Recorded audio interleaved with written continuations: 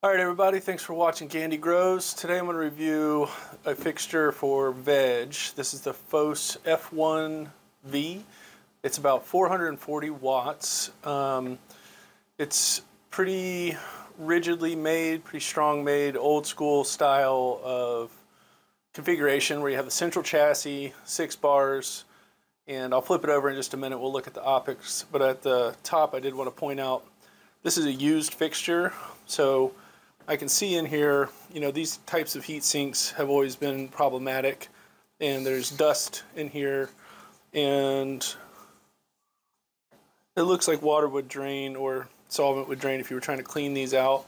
But these do become dust collectors and can be points of um, contamination if they're not serviced or cleaned very well. This fixture is a high voltage fixture. It's geared for 277 to 480.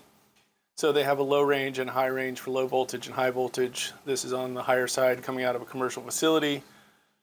Um, another thing to note about the chassis is that these central chassis having these central mounting points right here can make it tough to hang and balance if you're going into a rack configuration or trying to hang on a ceiling if you were actually going to do that with these. Uh, the daisy chain ability is only for the controller, so you can run the controller wires in fixture to fixture. You cannot run the line voltage through. The controller does have a Amphenol or LLT style connector on it with a three pin. So it can be dimmed 0 to 10 volt. You just have to splice that and put it into a normal uh, building management system controller. One thing to note on this fixture in particular is the spectrum, which I'll show up here on the screen is white chips only. There are no red chips. So being in veg, that is definitely going to give a very compact growth habit, having that amount of blue. However, I think having a little more red or far red, red are what we call cheap photons. I mean, they're easy to produce, lower energy than blue. And to balance out the rate of growth, I would definitely like to see more red in this spectrum. And the amount of far red which would be beneficial in veg to get better leaf expansion and better, more efficient uh, vegetative growth is missing on this spectrum. There's a little bit on the tail end of it, but it's not very uh, pronounced. So compared to their flowering fixtures, which I think have too much far red, this one has little to none. So now we're going to flip this fixture over and um, take a look at the optics. Fohse has this, um, we call them secondary optics. Rather than having a directional pattern with like a silicone blob put right onto the chips or components like there are with a lot of reds and high powered chips, these fixtures have um, a little bubble over them and underneath there is seven diodes in a little cluster.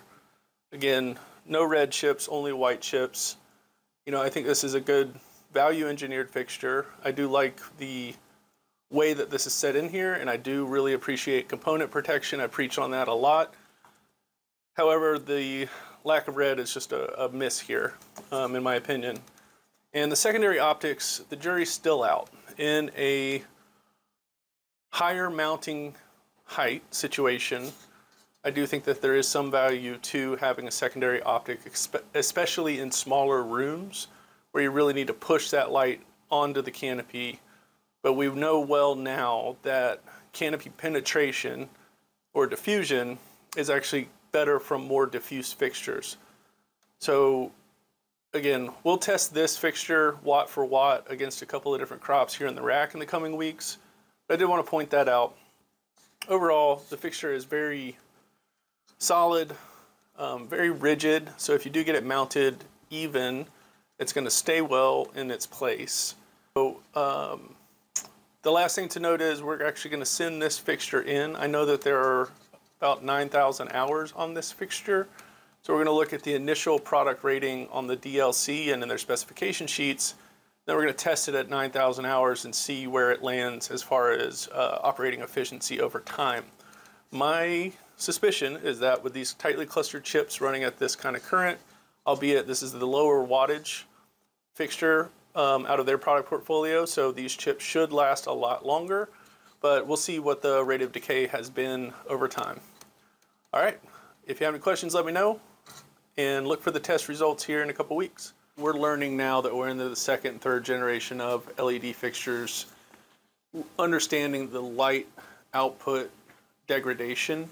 Over time, you know, a lot of the fixtures are marketed and sold to have a 90% maintenance where they only lose 10% of their lighting output at 100,000 hours, when the reality is it could be much less than that. That would be 11 years on a 12 hour cycle. But you could see, and we have seen now in some first and second and even current generation of LED fixtures where the light is out is down to 50 to 60 percent from 100 percent in only two years. And the only way to really know that is to test the fixtures, um, and a lot of warranties don't even cover that. So be careful what you're sourcing, be careful what you're understanding from the salesperson, and then also document your usage of your fixtures over time so that if you do have an issue, the first question is how many hours have these fixtures been running? Make sure you can prove that.